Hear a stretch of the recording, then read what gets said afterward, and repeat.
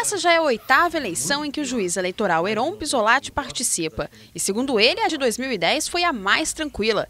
Nenhuma prisão foi efetuada e mesmo com a liberação do consumo de bebida alcoólica, ninguém causou confusão por estar embriagado. Nenhuma prisão, inclusive algumas assim que teriam sido mais graves, foram até verificadas diretamente. Eu me desloquei em alguns locais, o promotor de justiça, a própria Polícia Militar e não foi constatado nada. Pelo menos no momento em que nós estávamos presentes, não houve é, nenhum flagrante. Para aqueles que chegaram atrasados e não puderam votar, o mesmo quem não compareceu e não justificou deve ficar atento para não sofrer punições. Ela vai poder votar no segundo turno, mas deve ir no cartório eleitoral para regularizar em relação à falta que cometeu no primeiro turno.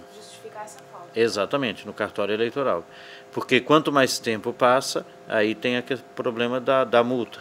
E já que para o cargo de presidente ocorrerá segundo turno no dia 31 de outubro, é importante lembrar ao eleitor que os locais de votação serão os mesmos. E para aqueles esquecidos que não sabiam o número da sessão, fica a dica. Esse período aí de quase um mês antes do, da, do segundo turno, já verificar, confirmar é, verificar a zona eleitoral, se não houve alteração, etc.